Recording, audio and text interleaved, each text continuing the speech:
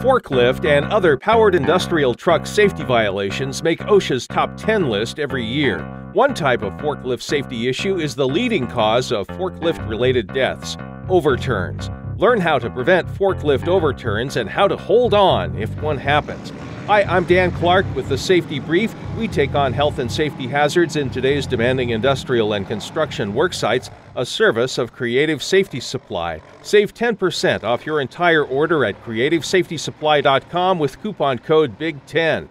What causes forklift overturns? Turning, stopping, or pushing the go pedal too quickly, driving on an incline, an unbalanced load, driving with a load too high or a load too heavy for the equipment, uneven surfaces, and wet surfaces. How can forklift overturns be prevented? Let me give you six steps to head them off. 1. Follow the speed guidelines from the employer or the vehicle's manufacturer. 2. Never raise or lower the load while you're moving. 3. Don't stop suddenly. 4. Take turns carefully.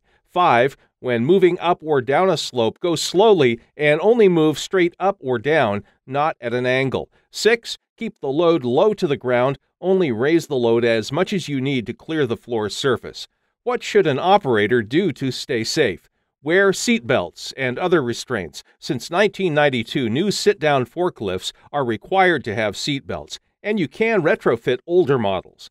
What if an overturn occurs? Now, I remember this from my first day driving a forklift at a plywood plant, and it's great advice. The foreman told me, Make sure to stay in the operator's compartment if something falls or the forklift overturns. Now, this goes against your brain, which says get out of harm's way, but the overhead guard will protect you.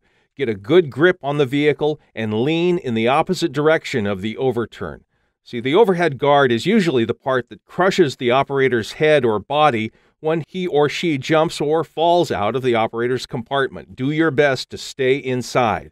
In a stand up forklift, get away by stepping backward out of the vehicle if the tip over is a lateral one. These procedures are endorsed by NIOSH. That's all for this episode Six Steps to Head Off Forklift Overturns. Join me again for more ways to stay safety compliant in today's always changing landscape of safety requirements. I'm Dan Clark of the Safety Brief, a service of Creative Safety Supply.